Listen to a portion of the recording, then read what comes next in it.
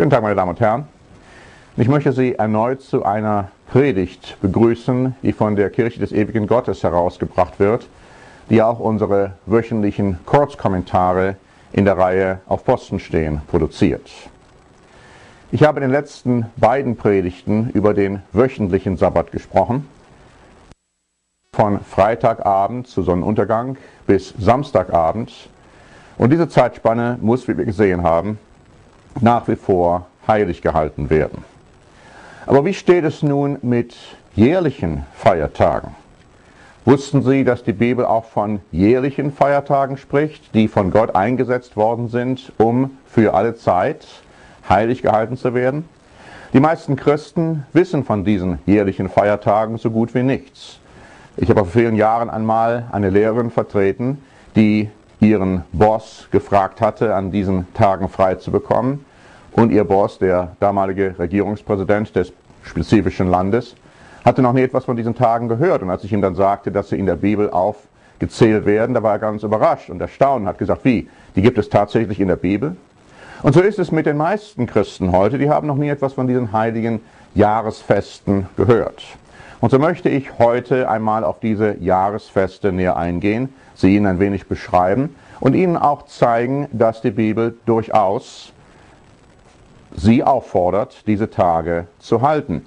Nun gibt es sowohl im Alten als auch im Neuen Testament mehrere Stellen, die diese Tage aufführen und ganz spezifisch im dritten Buch Mose, im 23. Kapitel, werden alle diese Tage aufgeführt und dargestellt.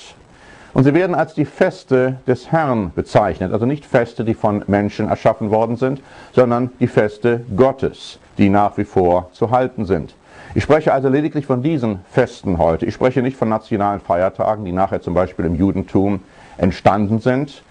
Das waren nationale Feiertage und es ist nicht verkehrt für Juden, die heute noch zu halten, aber darum geht es nicht. Das sind eben Tage, die aufgrund von historischen Begebenheiten sich entwickelt haben, wie ja auch in Deutschland wir zum Beispiel den Tag der deutschen Einheit haben oder den Tag des Widerstandes gegen das Hitlerregime. Aber das sind natürlich keine religiösen Feiertage, sondern lediglich nationale. Mir geht es heute um die Besprechung von religiösen Feiertagen, die von Gott eingesetzt wurden. Schauen wir uns nun einmal zusammen im dritten Buch Mose, im 23. Kapitel, diese Feiertage an. Es wird hier in Vers 1 wie folgt geschrieben. Und der Herr redete mit Mose und sprach. Vers 2, sage den Israeliten und sprich zu ihnen. Und wir haben ja bereits gesehen, dass wir als Christen heute geistliche Israeliten sind. Und es heißt dann hier, dies sind die Feste des Herrn. Also nicht die Feste Israels, nicht die Feste der Juden, sondern die Feste Gottes, die Feste des Herrn, die ihr ausrufen sollt als heilige Versammlungen. Auch hier wird wieder deutlich gemacht, dass man sich an diesen Festen versammeln soll. Dies sind meine Feste.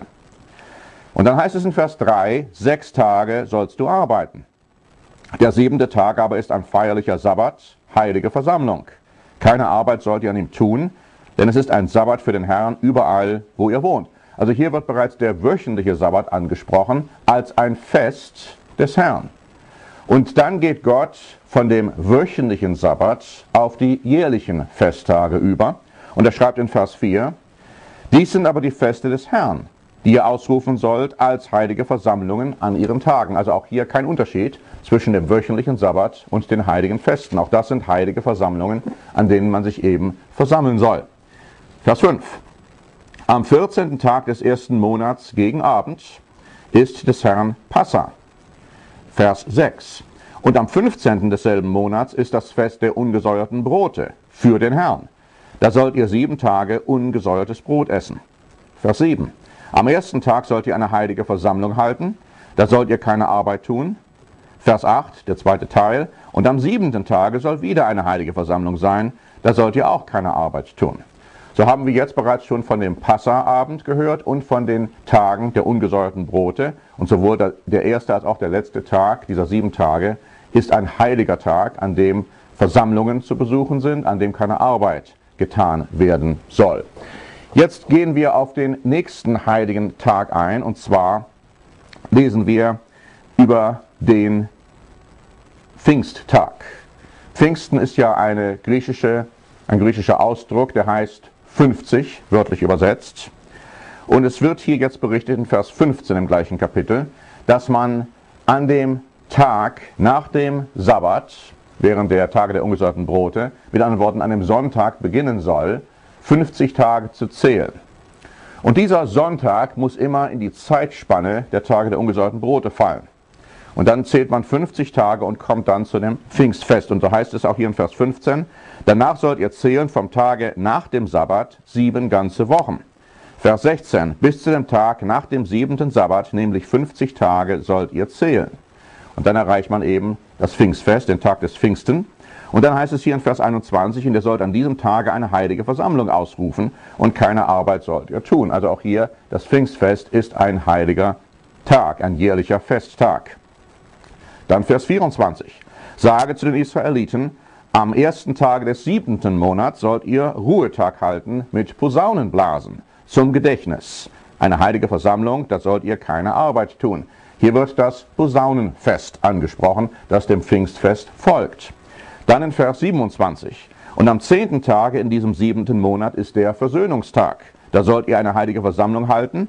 Vers 28. Und sollt keine Arbeit tun an diesem Tage, denn es ist der Versöhnungstag, dass ihr entsühnt werdet vor dem Herrn eurem Gott.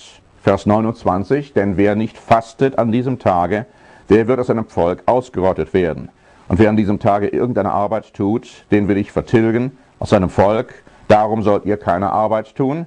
Vers 32, hören Sie, ein feierlicher Sabbat soll er euch sein und ihr sollt fasten. Mit anderen Worten wird hier der Versöhnungstag, der einzige jährliche Festtag, an dem gefastet werden muss, als ein heiliger Sabbat bezeichnet. Mit anderen Worten, das Wort Sabbat, wie wir noch deutlich sehen werden, bezieht sich nicht nur auf den wöchentlichen Festtag, sondern er bezieht sich auch auf die jährlichen Festtage, woraus sich ergibt, dass wenn man den einen hält, muss man auch die anderen halten, weil alles zusammengehört. Es heißt hier, ein feierlicher Sabbat soll er euch sein und ihr sollt fasten. Am neunten Tage des Monats, am Abend, sollt ihr diesen Ruhetag halten, vom Abend an wieder bis zum Abend. Auch hier zeigt sich wiederum, dass die Tage ja zu Sonnenuntergang anfangen, am Abend, und dann bis zum nächsten Sonnenuntergang gehen. Es ist also hier der Versöhnungstag am zehnten Tag des Monats zu begehen. Der beginnt aber dann am neunten Tag am Abend, wann also die Tage beginnen. Und dann in Vers 34. Sage zu den Israeliten, am 15. Tage dieses siebenten Monats ist das Laubhüttenfest für den Herrn, sieben Tage lang. Und am ersten Tag soll eine heilige Versammlung sein. Keine Arbeit sollt ihr tun. Und dann heißt es in Vers 36, dass man das Laubhüttenfest sieben Tage lang halten muss, aber nur der erste Tag ist eine heilige Versammlung. Und dann kommt ein weiterer Tag hinzu, der sogenannte achte Tag, der letzte Tag des Festes. Und der soll auch eine heilige Versammlung sein, wie es in Vers 36 beschrieben steht. Am achten Tage sollt ihr wieder eine heilige Versammlung halten. Und dann am Ende des Verses, es ist eine Festversammlung, keine Arbeit sollt ihr tun. Und dann heißt es in Vers 37, das sind die Feste des Herrn, die ihr als heilige Versammlungen ausrufen sollt. Vers 39. Am 15. Tage des siebenten Monats sollt ihr ein Fest des Herrn halten, sieben Tage lang, das Laubhüttenfest. Am ersten Tag ist Ruhetag, und am achten Tag ist auch Ruhetag. Dann heißt es in Vers 40, ihr sollt sieben Tage lang fröhlich sein vor dem Herrn eurem Gott und sollt das Fest dem Herrn halten, jährlich sieben Tage lang. Vers 42, sieben Tage sollt ihr in Laubhütten wohnen. Vers 44, und das sind die Feste des Herrn. So haben wir mit einem kurzen Überblick jetzt einmal gesehen, um was es sich bei den sieben Festtagen des Herrn handelt. Und wenn Sie den Passaabend, der nicht unbedingt ein heiliger Tag ist, aber doch eine sehr große Bedeutung hat für getaufte Mitglieder der Kirche Gottes, mit hinzunehmen, dann haben wir sogar acht. Aber schauen Sie, einige dieser Stellen sind vielleicht schwer für uns zu verstehen, die mit diesen Gebräuchen nicht vertraut sind. Zum Beispiel soll heute noch in Laubhütten gewohnt werden. Nein, Laubhütten war lediglich ein, eine Bezugnahme auf eine zeitweilige Unterbringung, auf einen zeitweiligen Aufenthalt.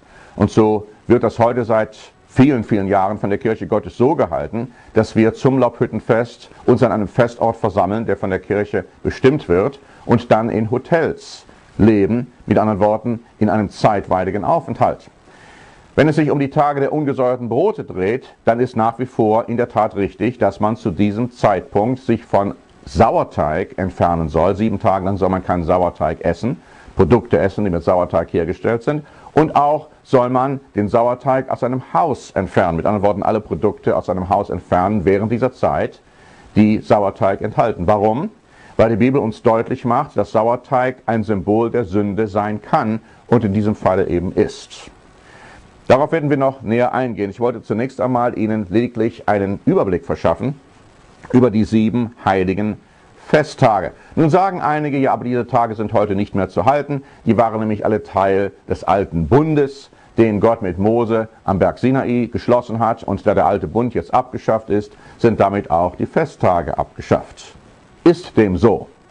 Wir hatten bereits gesehen, dass zum Beispiel der Sabbat, der ja ein Teil der zehn Gebote ist, bereits vor dem Bundesschluss am Sinai bestand. Das gleiche lässt sich zumindest im Hinblick auf einige der Festtage Gottes sagen. Schauen wir uns einmal im zweiten Buch Mose Kapitel 12 an, wie es überhaupt zum Passa und den Tagen der ungesäuerten Brote kam. 2. Mose Kapitel 12 befasst sich natürlich mit einer Zeit, die weit vor dem Bundesschluss am Sinai stattfand. Es handelt von einer Zeit, als Israel noch in Ägypten war, und zwar als Sklaven.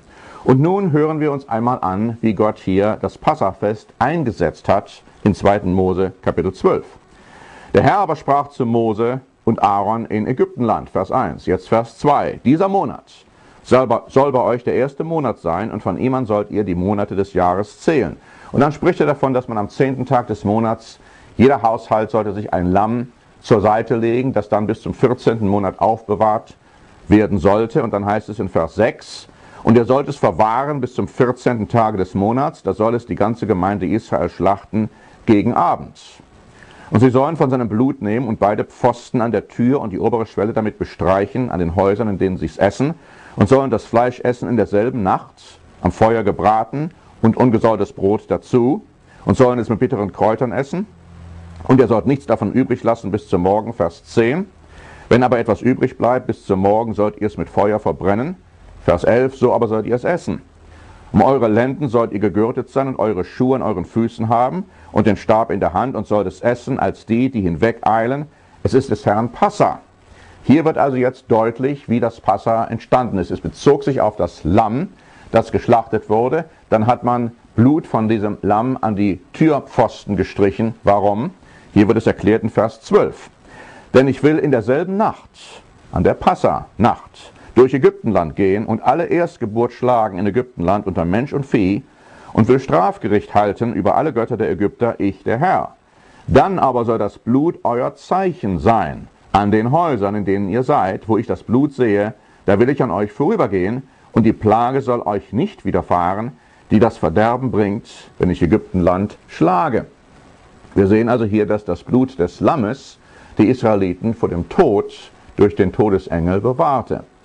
Und um gleich auf das Neue Testament einzugehen, verstehen wir, dass Jesus Christus als das, unser Passalam, das Lamm Gottes, für uns gestorben ist. Insoweit also diesen Brauch des Lammes ersetzt hat durch die Tatsache, dass man jetzt von seinem, symbolisch gesehen, Blut und seinem Leib essen und trinken kann. Mit anderen Worten, man nimmt am Passaabend ein bisschen Wein zu sich und ein Stück ungesäuertes Brot, das den Leib und das Blut Jesu Christi verdeutlicht. Das soll aber, wie wir gleich sehen werden, nur von Mitgliedern der Kirche, die getauft worden sind, getan werden. Aber lesen wir hier jetzt erst einmal weiter in Vers 15. Da heißt es nun im Hinblick auf die Tage der ungesäuerten Brote. Wohlgemerkt, alles dies ist bereits lange vor dem Bundesschluss am Sinai geschehen. Sieben Tage sollt ihr ungesäuertes Brot essen. Schon am ersten Tag sollt ihr den Sauerteig aus euren Häusern tun. Der gesäuertes Brot ist vom ersten Tage an bis zum siebenten, der soll ausgerottet werden aus Israel. Und am ersten Tag soll heilige Versammlung sein. Und am siebenten Tag soll auch heilige Versammlung sein. Keine Arbeit sollt ihr dann tun, nur was jeder zur Speise braucht, das allein dürft ihr euch zubereiten. Vers 17. Haltet das Gebot der ungesäuerten Brote. Wir sehen also deutlich, lesen wir weiter in Vers 18, am 14. Tag des ersten Monats, am Abend, sollt ihr ungesäuertes Brot essen bis zum Abend des 21. Tages des Monats, sodass man sieben Tage lang keinen Sauerteig finde in euren Häusern. Denn wer gesäuertes Brot isst, der soll ausgerottet werden aus der Gemeinde Israel, auch ein Fremdling oder ein Einheimischer des Landes. Keinerlei gesäuertes Brot sollt ihr essen, sondern nur ungesäuertes Brot, wo immer ihr wohnt. Es wird also vielfach hier diese Tatsache betont, dass Gott darauf besteht, dass sein Volk die Tage der ungesäuerten Brot erhält und dass man zu dieser Zeit, an diesen sieben Tagen, kein ungesäuertes oder vielmehr kein gesäuertes Brot zu sich nehmen soll. Nun lesen wir weiter in Vers 42. Da heißt es, eine Nacht des Wachens war dies für den Herrn, um sie aus Ägyptenland zu führen. Darum sollen die Israeliten diese Nacht dem Herrn zu Ehren wachen, sie und ihre Nachkommen. Nun, das geschah am ersten Tag der ungesäuerten Brote. Mit anderen Worten, zur Passanacht, der Nacht, die vorher stattfand, ging der Todesengel durch Ägypten. Aber die Israeliten waren nicht befugt, zu dieser Nacht ihre Häuser zu verlassen. Die durften ihre Häuser nicht verlassen bis zum Morgen. Das war die Passanacht. In der darauffolgenden Nacht sind dann die Israeliten aus Ägypten ausgezogen. Am ersten Tag der ungesäuerten Brote, als dieser Tag begann. Und der begann ja gegen Abend. Das heißt in der Bibel, dass die Israeliten bei Nacht auszogen. Und es ist diese Nacht, als die Israeliten auszogen, die wir heute noch nach wie vor, der wir heute noch nach wie vor gedenken. Nicht die ganze Nacht hindurch, sondern lediglich als ein Gedenkabend, an dem wir uns versammeln und an diese Situation denken. Denn sie hat ja auch geistliche Bedeutung für uns. Indem das Christus für uns starb, das Passalam, wurden wir von dem Tod, den wir dadurch für uns erworben haben, dass wir gesündigt haben, befreit. Wenn wir unsere Sünden bereuen, dann werden unsere Sünden vergeben. Aber damit hört es ja nicht auf, sondern Gott muss uns ja jetzt auch weiterhin aus dem Ägyptenland sozusagen, aus der geistlichen Sünde herausholen. Und das tut er dadurch, dass er uns dann auch den Heiligen Geist gibt, etwas, was wir später noch behandeln werden, wie man den Heiligen Geist bekommen kann. Die Idee, dass man als Baby bereits den Heiligen Geist erhält, wenn man in eine kirchliche Denomination hineingetauft wird, ist Unfug. Ich sage das deutlich, ist Unfug, denn man kann den Heiligen Geist nur dann erhalten, wenn man zunächst einmal seine Sünden bereut hat. Und ein Baby hat natürlich keinerlei Möglichkeit, Sünden zu bereuen. Ein Baby weiß ja gar nicht, was es überhaupt ist, was man Sünde nennt. Aber jetzt fahren wir dann fort, in Vers 43 zu sagen, und der Herr sprach zu Mose und Aaron, dies ist die Ordnung für das Passa, kein Ausländer soll davon essen. Und es heißt dann auch weiter in Vers 48, wenn ein Fremdling bei dir wohnt und dem Herrn das Passa halten will, der beschneide alles, was männlich ist, alsdann trete er herzu, dass er es halte und er sei wie ein Einheimischer des Landes. Aber ein Unbeschnittener darf nicht davon essen. Deswegen sagen wir, meine Damen und Herren, dass nur jemand an dem Passaabend an den Symbolen von Wein und Brot teilnehmen soll, der geistlich beschnitten ist. Es gibt ja heute nicht mehr das Erfordernis der physischen Beschneidung, das ist ja klar im Neuen Testament abgeschafft worden, aber nach wie vor gibt es das Erfordernis der geistlichen Beschneidung, die man dadurch erhält, dass man den Heiligen Geist erhält. Und den Heiligen Geist kann man nur erhalten, wenn man die Erfordernisse, die dafür bestehen, erfüllt hat. Unter anderem die Taufe. Und so dass wir dringendst davon abraten, dass jemand am Passaabend an den Symbolen teilnimmt, der noch nicht getauft worden ist. Das bedeutet nicht, dass man jetzt irgendwie im Geiste auch den Passaabend äh, ablehnen kann. Man sollte schon an diesem Abend sich Gedanken darüber machen, was geschehen ist, sowohl im Alten Testament als auch im Neuen. Aber man dürfte nicht unseres Erachtens an den Symbolen teilnehmen. Ich möchte kurz einmal hier im Neuen Testament auf diese Vorschrift eingehen. Schauen wir uns 1. Korinther Kapitel 11 einmal an und schauen wir uns an, was der Apostel Paulus dazu gesagt hat. Und wenn Sie, meine Damen und Herren, noch nicht getauft sind, dann machen Sie sich darüber keine Sorgen, dass Sie das Passa vielleicht jetzt, das ja demnächst geschehen wird, nicht halten können, weil Sie eben noch nicht getauft sind. Aber überlegen Sie sich, was zu tun ist, damit Sie getauft werden können, um vielleicht dann im nächsten Jahr das Passa halten zu können. Denn schauen Sie sich einmal an, was Paulus hier im 1. Korinther Kapitel 11, angefangen in Vers 23, gesagt hat. Er geht jetzt hier auf, die, auf das neutestamentliche Passa ein. Er sagte, denn ich habe von dem Herrn empfangen, von Jesus Christus, was ich euch weitergegeben habe. Der Herr Jesus in der Nacht, da er verraten ward, nahm er das Brot. Das war der Passaabend. dankte und brach's und sprach, das ist mein Leib, der für euch gegeben wird, das tut's zu meinem Gedächtnis. Desgleichen Vers 25 nahm er auch den Kelch nach dem Mahl und sprach, dieser Kelch ist der neue Bund in meinem Blut, das tut, so oft ihr daraus trinkt, zu meinem Gedächtnis. Nun, er meinte damit nicht, dass man jetzt jeden Sonntag oder wann auch immer halt davon trinken kann. Das heißt ja, so oft ihr das daraus trinkt. Es war lediglich der Passaabend. Das Passa wurde nur einmal im Jahr gehalten, sodass also auch diese Symbole natürlich nur einmal im Jahr zu halten sind, nicht wöchentlich oder monatlich. Aber gleichwohl ist es richtig, dass so oft man davon trinkt, dies zum Gedächtnis an den Tod Jesu Christi tut. Und wenn es heißt, so oft ihr davon trinkt, dann ist das durchaus verständlich, wenn jemand schon seit vielen, vielen Jahren, wie zum Beispiel ich, jährlich das Passa gehalten hat. Wir haben sehr oft, ich habe sehr oft dann von dem Kelch getrunken und habe dann auch an den Tod Jesu Christi gedacht.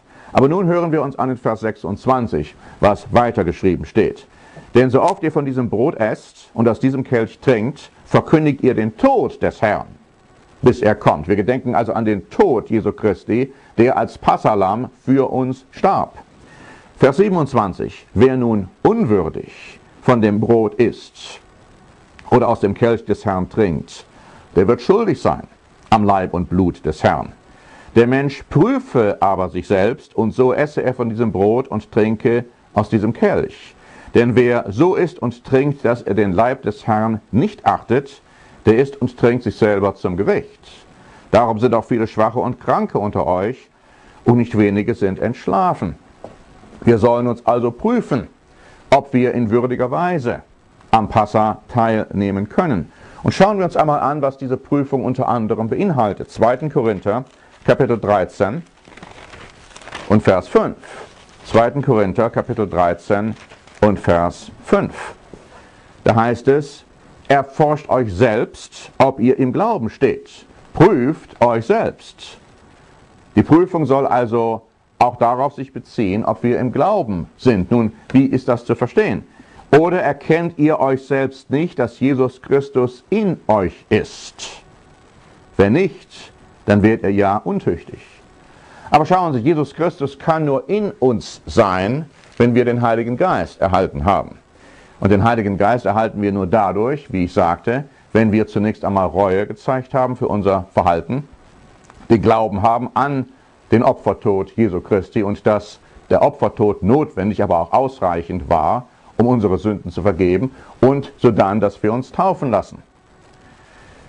Jemand, der also noch nicht in Christus ist und insoweit sich auch geprüft hat, soll dann gemäß 1. Korinther dann auch nicht an dem Passa, an den Passasymbolen teilnehmen. Die Warnung ist nicht zu übersehen. Wenn wir nun zurückgehen zu den jährlichen Festtagen, dann finden wir auch, wie wir das bereits im Hinblick auf den wöchentlichen Sabbat gesehen haben, dass der wöchentliche Sabbat ein Zeichen war. Ein Zeichen, das uns identifiziert. Schauen wir uns 2. Mose 31 an. Das ist die Stelle, die wir bereits in der letzten Predigt behandelt haben. Die Stelle, die von dem Sabbatbund spricht. Das heißt 2. Mose 31 und Vers 13. Sage den Israeliten, haltet meinen Sabbat, denn er ist ein Zeichen zwischen mir und euch von Geschlecht zu Geschlecht, damit ihr erkennt, dass ich der Herr bin, der euch heiligt. Und dann heißt es in Vers 17, er ist ein ewiges Zeichen zwischen mir und den Israeliten. Dieses Zeichen identifiziert uns, dass wir Teil des Volkes Gottes sind. Es identifiziert aber auch Gott für uns, der am siebenten Tag ruhte, der uns befohlen hat, den Sabbat zu heiligen und der uns heiligt, wenn wir diesem Gebot Folge leisten. Dieses Zeichen identifiziert uns zu Gott, unter uns selbst, aber auch anderen gegenüber.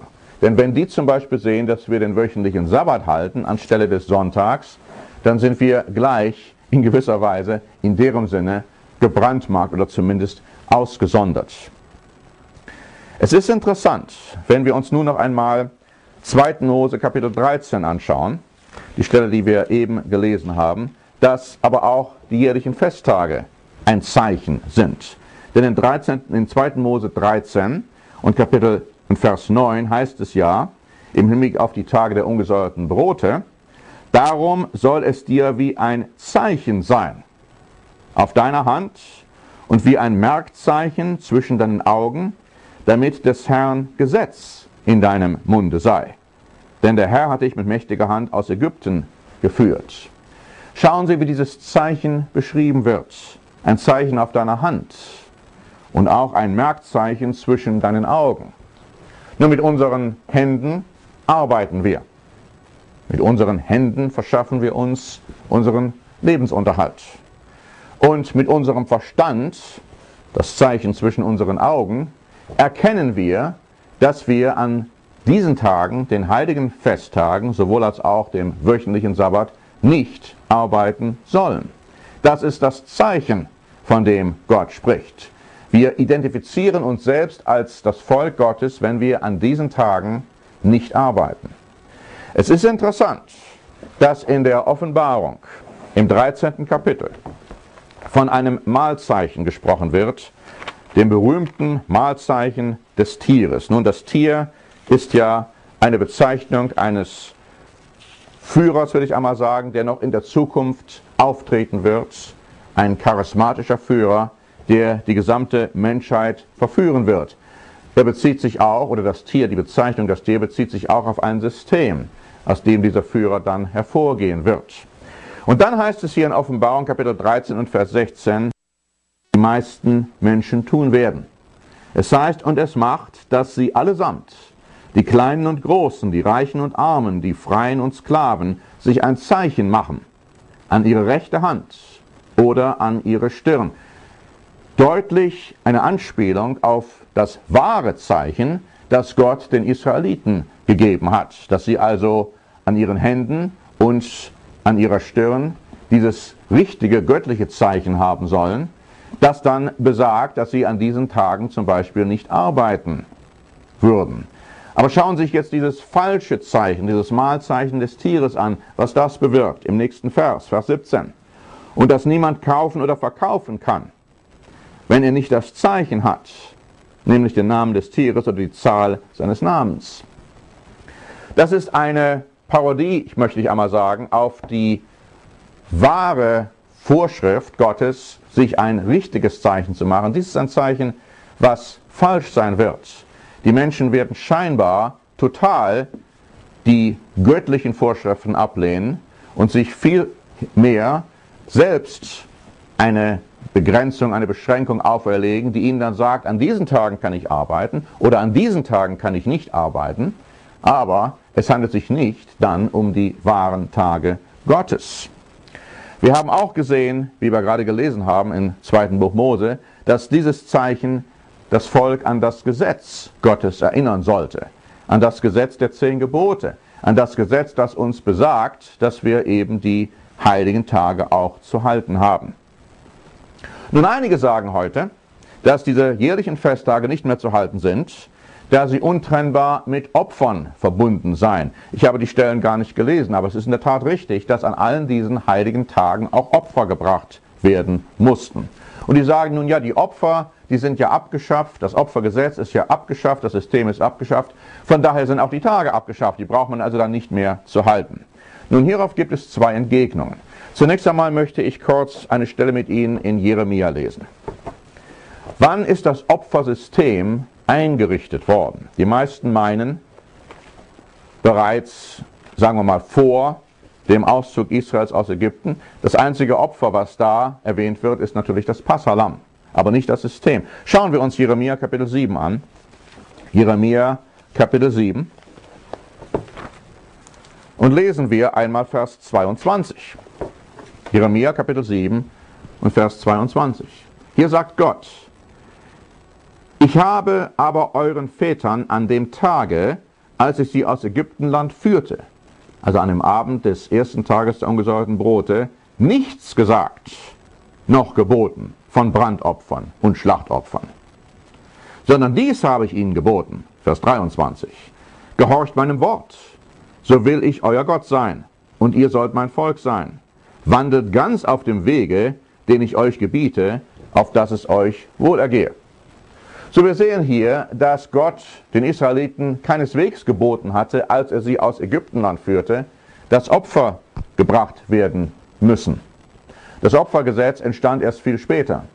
Und zwar als eine totale Reaktion, direkte Reaktion auf das goldene Kalb, das die Israeliten bauten, als Mose oben auf dem Berg war. Aber Gott gebot ihnen, wie wir bereits gesehen haben, zu diesem Zeitpunkt, als er sie aus Ägypten herausführte, sowohl das Passa als auch die Tage der ungesäuerten Brote zu halten. Von daher sind zumindest diese Festtage vor den Opfern verschieden und die Argumentation, man braucht sie nicht mehr zu halten, weil an ihnen Opfer nachher gebracht wurden, ist natürlich dann nicht stichhaltig. So dann müssen wir feststellen, dass nicht nur an den jährlichen Festtagen geopfert wurde, sondern auch am wöchentlichen Sabbat und sogar an jedem anderen Tag. Also wenn man davon ausgehen wollte, dass man keine dieser Tage mehr halten bräuchte, weil eben Opfer gebracht worden sind, dann könnten Sie heute auch zum Beispiel als nominelle Christen den Sonntag nicht halten, denn an dem wurden auch Opfer gebracht. Nun, einige derjenigen, die die jährlichen Festtage als abgeschafft halten, weil sie angeblich mit dem Opfergesetz untrennbar verbunden sind, halten jedoch den wöchentlichen Sabbat. Das ist natürlich dann auch eine Situation, die widersprüchlich ist. Wir haben aber bereits gesehen, meine Damen und Herren, dass sowohl der wöchentliche Sabbat als auch die jährlichen Festtage zusammengehören. Sie wurden ja alle als die Feste des Herrn bezeichnet in 2. Mose oder 3. Mose 23. Sie fallen und stehen gemeinsam. Wir hatten bereits auch gesehen, dass einer der jährlichen Festtage, der Versöhnungstag, ausdrücklich als ein Sabbat bezeichnet wurde. Schauen wir uns noch einmal 3. Mose 23 an. Und schauen wir uns auch an, dass das für andere Festtage, jährliche Festtage galt, nicht nur für den Versöhnungstag. In 3. Mose Kapitel 23 wird nämlich auch in Vers 39 von dem Laubhüttenfest gesprochen, dem ersten und dem letzten Tag. Und schauen wir uns einmal noch einmal die Stelle an, wie sie zunächst in der Lutherbibel übersetzt wurde. Da heißt es hier, am 15. Tag des siebenten Monats wenn ihr die Früchte des Landes einbringt, sollt ihr ein Fest des Herrn halten, sieben Tage lang. Am ersten Tage ist Ruhetag und am achten Tage ist auch Ruhetag. Nun im Hebräischen steht allerdings hier das Wort für Sabbat. Und einige Übersetzungen haben das auch richtig dargebracht und wiedergegeben, sodass die richtige Übersetzung hier heißt, am ersten Tage ist Sabbat. Im Hebräischen heißt hier das Wort Shabbaton, Sabbat. Und am achten Tag ist auch Sabbat sodass also hier auch der erste und der letzte Tag des Laubhüttenfestes als ein Sabbat bezeichnet wird. Und dann möchte ich jetzt auch auf eine Stelle im Neuen Testament eingehen, wo nämlich der erste Tag der ungesäuerten Brote, richtig verstanden, ein Sabbat genannt wird. Schauen wir uns diese Stelle an in Johannes Evangelium Kapitel 19. Johannes Kapitel 19. Und Schauen wir uns einmal Vers 30 und Vers 31 an. Johannes Kapitel 19.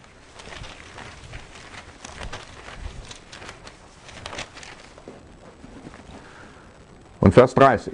Es geht hier natürlich um Jesu Tod am Kreuz.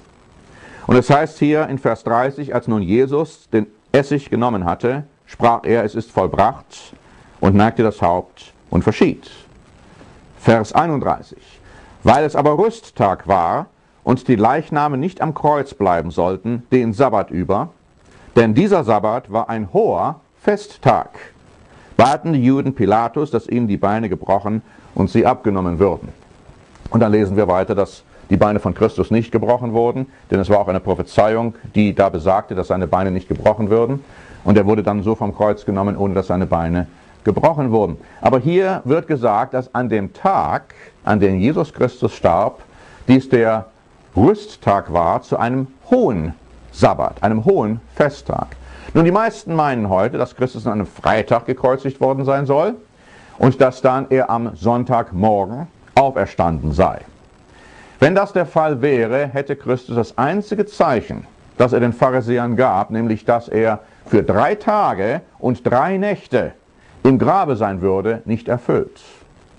Er sagte, ich gebe euch kein anderes Zeichen als das, das Zeichen, das Zeichen des Propheten Jona, denn der war nämlich drei Tage und drei Nächte im Magen des Wales des Seeungeheuers, so werde ich oder der Menschensohn drei Tage und drei Nächte, nicht nur ein Teil von drei Tagen und drei Nächten, sondern drei Tage und drei Nächte im Grabe sein.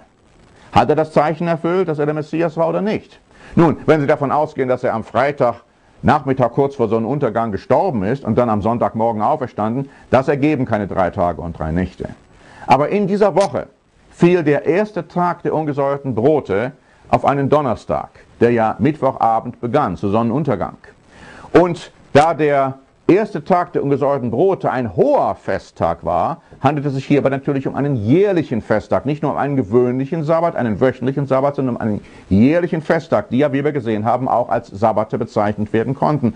So starb Christus in der Tat am Mittwoch zu Beginn oder zu Ende des Mittwochs noch vor dem Beginn des ersten Tages der ungesäuerten Brote eines jährlichen Sabbats und war dann drei Tage und drei Nächte im Grabe und stand dann am Ende des wöchentlichen Sabbats zu Beginn des ersten Tages der Woche des Sonntags auf. Das ergibt sich hier aus dieser Stelle und wenn man das alles miteinander zusammenbringt, ergibt sich auch ganz klar, dass Jesus Christus das einzige Zeichen, dass er der Messias war, erfüllt hat. Wir stellen so dann auch fest, dass die Festtage, die jährlichen Festtage von Jesus Christus und den frühen Aposteln gehalten wurde. Zunächst einmal schauen wir uns an, dass Christus das Passa hielt. In Johannes im zweiten Kapitel, Johannes Kapitel 2, lesen wir in Vers 13. Und das Passafest der Juden war nahe und Jesus zog hinauf nach Jerusalem. Es hieß, es, es, es heißt natürlich, dass zu dem damaligen Zeitpunkt praktisch gesehen die Juden es hielten, und von daher auch das Passa dann mit den Juden assoziiert wurde, weil nämlich die meisten Menschen es nicht mehr hielten, aber es war nicht nur ein Passa, das nur von den Juden zu halten war. So dann hatten natürlich die Juden auch gewisse Dinge eingefügt in das Passa, wie auch in die anderen Festtage, wie auch in den Sabbat, wie wir das das letzte Mal bereits besprochen haben, was nicht unbedingt biblisch war. Und von daher wird das also auch in, so, in dieser Weise hier beschrieben. Aber gleichwohl möchte ich festhalten, dass Jesus hinaufzog nach Jerusalem, um das Passafest zu halten. Und es heißt dann auch in Vers 23, als er aber am Passafest in Jerusalem war, glaubten viele an seinen Namen, da sie die Zeichen sahen, die er tat. Schauen wir uns auch einmal in Lukas Kapitel 22 an, was hier geschrieben steht. Lukas Kapitel 22.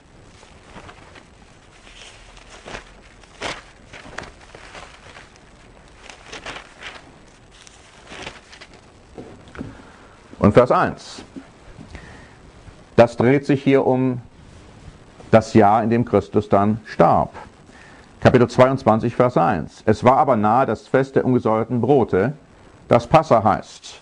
Mit anderen Worten, zu dem damaligen Zeitpunkt wurde dann das Wort Passa auf die gesamte Zeitspanne der sieben Tage ausgedehnt, aber natürlich dann mit dem Passa zusammen. Und dann heißt es hier in Vers 7, es kam nun der Tag der ungesäuerten Brote, an dem man das Passalam opfern musste. Wir hatten ja gesehen, das wurde dann am Abend des 14. geopfert und dann gegessen. So sehen wir also hier, dass Christus und die Jünger das Passa hielten. Und er sagt dann auch später in Vers 15, er sprach zu ihnen, mich hat herzlich verlangt, dies Passalam mit euch zu essen, ehe ich leide. Und dann hat er natürlich dann die neuen Symbole von Brot und Wein eingeführt. Aber Christus hielt auch das Laubhüttenfest. Schauen wir uns einmal die Stelle in Johannes Kapitel 7 an. Johannes Kapitel 7 und in Vers 2. Johannes Kapitel 7 und Vers 2. Es war aber nahe das Laubhüttenfest der Juden. Die gleiche Überlegung wiederum, dass die Juden es hielten, aber nicht unbedingt genauso, wie es vorgeschrieben war. Gleichwohl hielten sie es. Vers 8. Und die Brüder kamen zu ihm und sagten, ja, warum gehst du nicht jetzt auch hoch und hältst das Laubhüttenfest öffentlich, indem du dich dort verkündigst. Denn es heißt, die Brüder glaubten auch nicht an ihn. Und Vers 8 heißt es dann, was Christus geantwortet hat. Geht ihr hinauf zum Fest? Ich will nicht hinaufgehen zu diesem Fest, denn meine Zeit ist noch nicht erfüllt. Das sagte er und blieb in Galiläa. Aha, sagen jetzt einige. Hier sehen wir, dass Christus das Fest eben nicht gehalten hat. Das ist keineswegs der Fall. Er hat es zunächst einmal nicht öffentlich gehalten. Er hat es nicht gehalten in dem Sinne, dass er sich als Messias identifizierte. Aber schauen wir an, was er, was in Vers 10 beschrieben ist. Als aber seine Brüder hinaufgegangen waren zum Fest, da ging er auch hinauf. Er wusste, dass das Laubhüttenfest zu halten war. Nicht öffentlich, sondern heimlich. Aber dann in Vers 14, mitten im Fest, ging Jesus hinauf in den Tempel und lehrte. Also am Anfang noch nicht, aber dann zu Ende oder Mitte des Festes begann er dann öffentlich zu lehren. Und in Vers 37 wird jetzt hier Bezug genommen auf den letzten oder achten Tag des Laubhüttenfestes, ein separates Fest, das also auch eine heilige Versammlung darstellte. Und da lesen wir in Vers 37, aber am letzten Tag des Festes, der der höchste war, da trat Jesus auf und rief, wen der dürstet, der komme zu mir und trinke. So sehen wir deutlich, dass auch Jesus Christus das Laubhüttenfest und den letzten großen Tag, den achten Tag, gehalten hat. Und wir finden auch, dass die Apostel nach Christi Auferstehung die jährlichen Festtage gehalten haben. Und das ist bedeutsam, denn wenn die Überlegung richtig wäre, dass Jesus Christus durch seinen Tod das Gesetz abgeschafft habe, die zehn Gebote und natürlich damit auch die jährlichen Festtage, warum haben dann die Apostel nach Christi Tod die Festtage weiterhin gehalten? Schauen wir uns einmal 1. Korinther Kapitel 5 an und schauen wir uns die Anweisung an, die Paulus an Christen gab, die aus dem Heidentum gekommen sind. Das waren also keine Christen, die aus dem Judentum gekommen sind. Da könnte man ja noch sagen, ja, die haben halt dann die Beibehaltung der Feste praktiziert. Das waren Heidenchristen, die aus dem Heidentum kamen, die nie die Festtage gehalten hatten vorher. Und gleichwohl sagt Paulus denen, die müssen weiterhin die jährlichen Festtage halten. 1. Korinther Kapitel 5, angefangen in Vers 6. Er schreibt der Kirche in Korinth, Euer Rühmen ist nicht gut. Wisst ihr nicht, dass ein wenig Sauerteig den ganzen Teig durchsäuert? Vers 7. Darum schafft den alten Sauerteig weg, damit ihr ein neuer Teig seid. Das ist jetzt natürlich geistlich zu verstehen. Den alten Sauerteig des alten Menschen, der soll weggeschafft werden, damit man jetzt geistlich erneuert werden kann. Aber schauen Sie sich an, wie er weiterschreibt. Er schreibt in Vers 7, darum schafft den alten Sauerteig weg, damit ihr ein neuer Teig seid, wie ihr ja ungesäuert seid. Die hatten also vom praktischen her gesehen den Sauerteig aus ihren Häusern entfernt. Die waren in dem Sinne ungesäuert. Physisch, aber nicht geistlich. Und von daher sagt Paulus, ihr haltet, wie ihr das auch tun sollt, die Tage der ungesäuerten Brote in physischer Hinsicht, aber seht auch zu, dass er sie geistlich haltet. Und so fährt er jetzt fort. Denn auch wir haben ein Passalam. Das ist Christus, der geopfert ist. Darum lasst uns das Fest feiern. Welches Fest ist gemeint? Das Passa und die Tage der ungesäuerten Brote. Darum lasst uns das Fest feiern, nicht im alten Sauerteig, auch nicht im Sauerteig der Bosheit und Schlechtigkeit, sondern im ungesäuerten Teig der Lauterkeit und Wahrheit. Er geht also davon aus, dass man das Fest der ungesäuerten Brote halten muss, weiterhin. Das gilt auch für Christen, die aus dem Heidentum kamen aber natürlich auch in der richtigen geistlichen Weise. Nicht nur als Ritual, sondern eben auch um die Bedeutung des Festes verstehen zu können.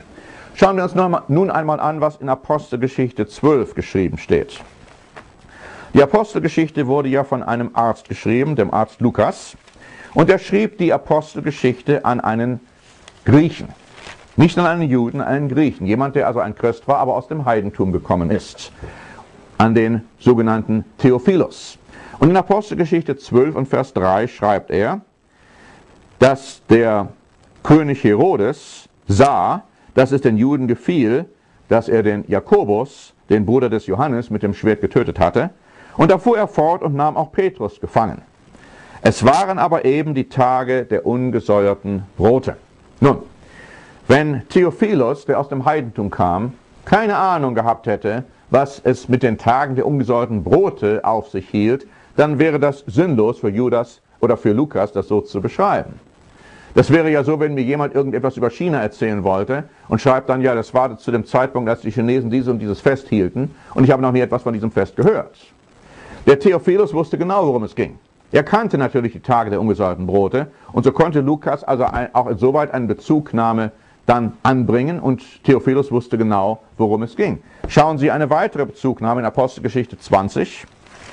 Und in Vers 6, Apostelgeschichte 20 und in Vers 6, wo es heißt, wir aber fuhren nach den Tagen der ungesäuerten Brote mit dem Schiff von Philippi ab und kamen am fünften Tag zu ihnen nach Troas und blieben dort sieben Tage. Auch hier wiederum eine deutliche Bezugnahme auf etwas, das Theophilus verstand. Warum verstand er es? Weil er eben die Tage der ungesäuerten Brote hielt. Das gleiche gilt natürlich auch für Pfingsten. Wir wissen alle, dass der Heilige Geist der Kirche zu Pfingsten gegeben wurde. Aber warum wurde der Heilige Geist überhaupt zu Pfingsten gegeben, wenn Pfingsten nicht mehr ein Fest war, das von der frühen neutestamentlichen Kirche zu halten war. Schauen Sie sich an, Apostelgeschichte 2 und Vers 1. Apostelgeschichte 2 und Vers 1. Als aber der Pfingsttag gekommen war, waren sie alle an einem Ort beieinander. Natürlich, sie versammelten sich an dem Pfingsttag, wie es das Gesetz vorschrieb. Und dann lesen wir auch in Kapitel 20 und Vers 16. Kapitel 20 und Vers 16. Denn Paulus hatte beschlossen, an Ephesus vorüberzufahren, um in der Provinz Asien keine Zeit zu verlieren, denn er eilte, am Pfingsttag in Jerusalem zu sein, wenn es ihm möglich wäre. Nicht nur wollte er nach wie vor das Pfingstfest halten, er wollte es sogar auch in Jerusalem halten, wenn er da noch zeitlich gesehen hinkommen konnte. Aber wenn er das nicht schaffen könnte, hätte er natürlich nach wie vor das Pfingstfest gehalten, weil er auch verstand, dass nirgendwo in der Bibel davon die Rede ist, dass die heiligen Festtage abgeschafft seien. Schauen wir uns einmal eine Bezugnahme in der Apostelgeschichte auf den Versöhnungstag an. In Apostelgeschichte 27 und in Vers 9. Apostelgeschichte 27 und Vers 9. Da heißt es, da nun viel Zeit vergangen war und die Schifffahrt bereits gefährlich wurde, weil auch die Fastenzeit schon vorüber war, ermahnte sie Paulus. Und dann hat er sie gewarnt, dann diese Reise nicht mehr anzutreten. Nun, hier heißt es Fastenzeit. Aber in meiner revidierten Lutherbibel wird da Bezug genommen auf eine Stelle im Alten Testament. Und zwar 3. Mose 16 und Vers 29. Und wenn Sie diese Stelle aufschlagen, dann finden Sie natürlich, dass es sich hierbei um den Versöhnungstag handelt. Der einzige heilige Festtag, an dem gefastet werden musste. Die Kommentare und auch hier, wie gesagt, der Herausgeber der Lutherbibel verstand genau richtig, dass es sich hierbei um den Versöhnungstag handelt, der nach wie vor in Kraft war, als dies geschrieben wurde. Schauen wir uns auch eine Stelle im Judasbrief an. Der befindet sich ja direkt vor dem Buch der Offenbarung in der deutschen Lutherbibel. Judas war ja ein Halbbruder von Jesus Christus. Und der schrieb folgendes im ersten Kapitel des Judas-Evangelium. Der Judasbrief hat ja auch nur ein Kapitel. Und im zwölften Vers über Menschen, die in die Kirche gekommen waren, aber nicht wirklich bekehrt waren. Die waren nur da aus was für Gründen, aus was für Motiven auch immer. Und die haben dann natürlich auch sehr viel Unheil angerichtet in der Kirche. Und so lesen wir in Vers 12, wie Judas sie beschreibt. Sie sind Schandflecken bei euren Liebesmalen. Prassen ohne Scheu, weiden sich selbst. Sie sind Wolken ohne Wasser, vom Wind umhergetrieben, kahle, unfruchtbare Bäume, zweimal abgestorben und entwurzelt. Schauen Sie, er bezieht sich hier auf Liebesmale. Andere Übersetzungen haben hier Liebesfeste. Im Griechischen findet sich für dieses Wort das griechische Wort Agape. Und Agape bezeichnet göttliche Liebe. Es gibt drei Ausdrücke in der, im Neuen Testament für Liebe. Das ist einmal Eros, so dann Philia und so dann Agape. Nun, Eros ist mehr so die sexuelle Liebe, die getätigt wird. So dann findet man das Wort Philia, das ist so mehr die Bruderliebe, die man als Menschen gegenüber anderen Menschen haben kann. Aber dann gibt es die dritte Variante, das griechische Wort Agape, das die Gottesliebe bezeichnet. Eine Liebe, die nur von Gott kommen kann und die Gott einem gibt durch die Gabe des Heiligen Geistes. Und es ist interessant, dass hier in diesem Zusammenhang das Wort Agape gebraucht wird für diese Liebesmale oder diese Liebesfeste. Warum? Natürlich ist es eine Anspielung auf die jährlichen Festtage, möglicherweise auch auf den wöchentlichen Sabbat.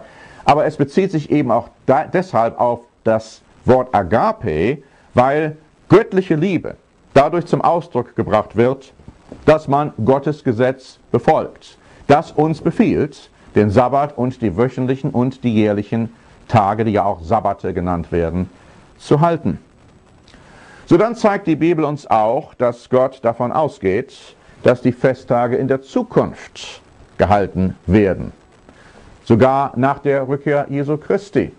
Wenn sie also abgeschafft sind, warum werden sie dann in der Zukunft gehalten? Sie werden zum Beispiel im Millennium gehalten, der Zeitspanne von 1000 Jahren, die laut Bibel bestehen wird hier auf Erden, wenn Jesus Christus zurückgekommen ist, um das Reich Gottes hier auf Erden zu errichten.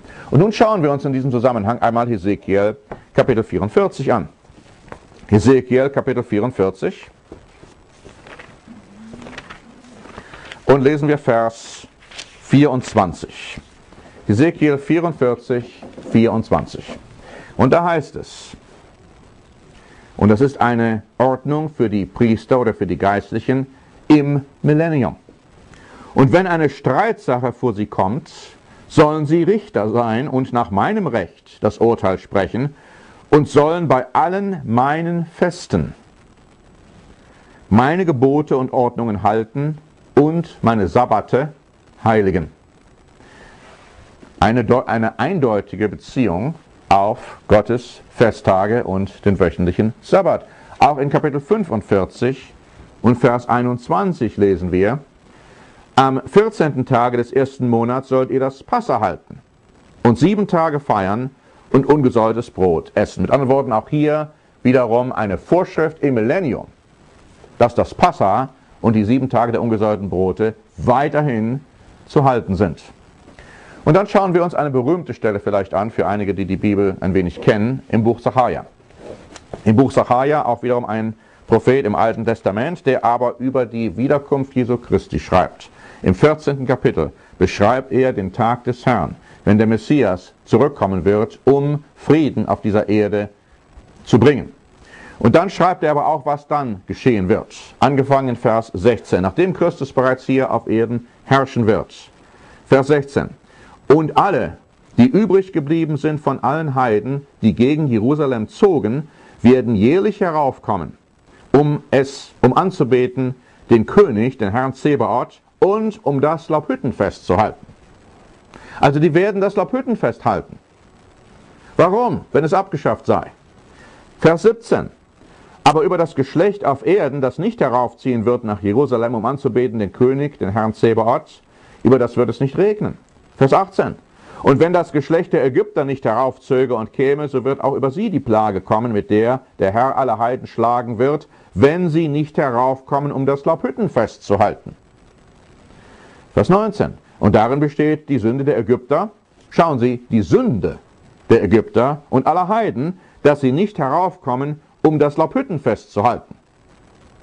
Gott sagt, wenn man das nicht tut, sündigt man. Vers 20. Zu der Zeit werden auf den Schellen der Rosse stehen, heilig dem Herrn, und die Töpfe im Hause des Herrn werden den Becken vor dem Altar gleichgestellt sein. Und er sagt in Vers 17, dass die, die nicht heraufkommen werden, um das Laubhüttenfest zu halten, die werden nicht gesegnet werden und über die wird es nicht zur gewissen und richtigen Zeit regnen. Also auch hier sehen wir deutlich, dass die Festtage auch im Millennium noch zu halten sind. Und es steht nichts in der Bibel geschrieben, dass die Festtage heute nicht mehr zu halten seien von dem Volk Gottes, wie ja auch die Bibel nirgendwo sagt, dass der wöchentliche Sabbat nicht mehr zu halten ist. Ich möchte in den verbleibenden paar Minuten noch kurz auf einige geschichtliche Annalen eingehen, die uns zeigen, dass die heiligen Tage, wie auch der Sabbat, wie wir das bereits ja gesehen haben, von Christen über die Jahrhunderte hinweg gehalten wurde. Ich habe hier ein englisches Büchlein von John Keys, der sich mit der Heilighaltung des Sabbats und der Geschichte des Sonntags beschäftigt. Und der wurde 1900, das wurde 1979 in Oklahoma herausgegeben. Ich möchte nur kurz von Seite 26 hier etwas vorlesen. Ich habe das natürlich aus dem Englischen ins Deutsche übertragen. Die Rede hier ist von armenischen Christen, die im 17. Jahrhundert in Hindustan lebten. Und da heißt es, sie beobachten die acht Festtage unseres Herrn. Und erinnern Sie sich, es gibt also sieben jährliche Festtage, aber wenn Sie das Passa, den Passaabend noch hinzuzählen, haben Sie acht. Sie beobachten die acht Festtage unseres Herrn und den Sabbattag, an welchem wir nicht arbeiten, heißt es hier. Und so dann hatte ich ja bereits in der letzten Sendung auf Tamar Davis hingewiesen, die ja ein Buch geschrieben hat über die Geschichte der Sabbatarier. Und auf den Seiten 249 und 254 wird von deutschen siebenten Tags Baptisten im 18. und 19. Jahrhundert gesprochen, die jährliche Versammlungen hatten, die sie Liebesfeste nannten. Und das ist ja bemerkenswert. Wir hatten ja im Judasbrief gelesen, dass diese Liebesfeste ja auch schon bereits zu Anfang des Neuen Testamentes weiterhin gehalten wurden. An Worten eine Bezugnahme auf die jährlichen Festtage. Es finden sich auch interessante Aussagen in einem sehr interessanten Buch von Samuele Bacciocchi. Professor Bacciocchi ist kürzlich verstorben. Er war ein siebente Tags Adventist, aber er hat dieses Buch, das sich auf historische Quellen fußt, geschrieben. Und zwar geht es um die geschichtliche Entwicklung des Sabbats hin zum Sonntag. Nun, Mr. Bocciocci hatte, als er dieses Buch schrieb, noch nicht an die Heilighaltung der jährlichen Festtage geglaubt. Als siebente Tags Adventist glaubte er allerdings an die Heilighaltung des wöchentlichen Sabbats. Er hat dieses Buch an der katholischen Pontifex Gregorianischen Universität von Rom geschrieben. Er hat dort Theologie studiert. Und das ist also, wie gesagt, von der Pontifical Gregorian University Press in Rom im Jahr 1977 herausgegeben worden, wenn Sie so wollen, von der katholischen Kirche. Gleichwohl wird hier deutlich gemacht, dass sowohl der Sabbat als auch die heiligen Tage nach wie vor laut Bibel zu halten sind und dass Christen zu allen Zeiten sie auch gehalten haben. Auf Seite 151 dieses Buches wird Mr. Davis zitiert, der Folgendes geschrieben hat in seinem Buch Paulus und jüdisches Christentum.